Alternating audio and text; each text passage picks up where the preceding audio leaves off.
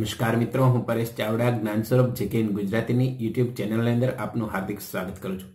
આજે આપણે વાત કરીશું પચીસમી જાન્યુઆરી, દિન વિશેષ અંતર્ગત, અને ત્યારે રમણલાલ સોનીનો જન્મદિવસ. અને એ જન્મજયંતિ વિશેષ વાતો છે આજે આપણે આ વીડિયો અંતર્ગત કરવાના છીએ. તો પચીસમી જાન્યુઆરી ઓગણીસો ને આઠ એ તેમનો જન્મદિવસ છે. તો જોઈએ તેની વિશેષ વાતો.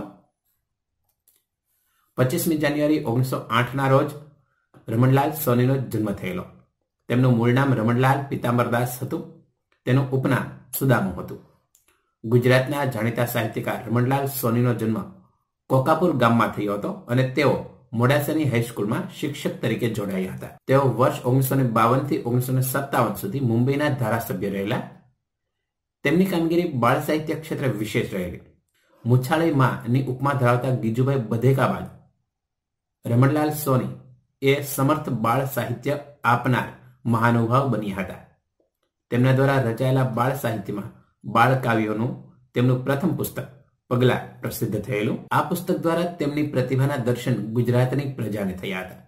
તેમના પુસ્તક રંગ રંગ વાદળિયા માટે NCERT national council of education research and training આ સંસ્થા છે નવી દિલ્હીની અંદર જે સમગ્ર શિક્ષણ ક્ષેત્ર છે તેનું નિયમન અને એ માટેના જે કાંઈ સંશોધનો છે એ કરે છે. તો એના દ્વારા પણ રમણલાલ સોનીને પુરસ્કૃત કરવામાં આવેલા. રીચ એકલું ફરવા ચાલ્યું એ તેમનું પ્રસિદ્ધ કાવ્ય છે. આ કવિતાને ગુજરાત રાજ્યના પાઠ્યપુસ્તકની અંદર સમાવવામાં આવેલ છે. તેમના દ્વારા ટોલ સ્ટોયની વાર્તાઓ, એન્ડરસનની પરિકથાઓ અને ટાર્જનની સાહસ કથાઓનો અનુવાદ થયેલો છે.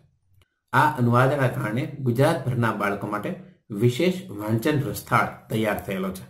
તેમના બાળ સાહિત્ય માટે ગીજુભાઈ બધેકા એવોર્ડ તથા રણજીતરામ સુવર્ણચંદ્રક એવોર્ડ એ પણ રમણલાલ સોનીને આપવામાં આવેલો છે.